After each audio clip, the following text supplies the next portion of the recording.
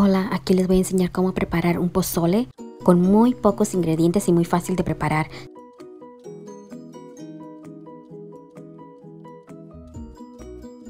Ingredientes. Ocupamos una olla con 3 litros de agua. Agrega 3 cucharadas de consomé de pollo. Un trozo de cebolla, 4 hojas de laurel. Una cucharada de orégano. Dejar hervir Ocupamos 3 libras de carne para pozole, una lata de enchiladas y una lata de maíz de su preferencia. Ya hirvió.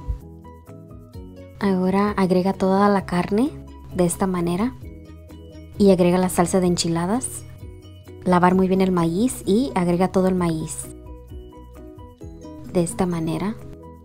Dejar cocinar por unas 3 horas aproximadamente, tapar y listo probar de sal y servir. Lechuga, salsa, rábanos y limones. Cebolla, dos chile de árbol, agrega el gusto. No olvides dejarme un like, comenta y comparte esta receta. Gracias.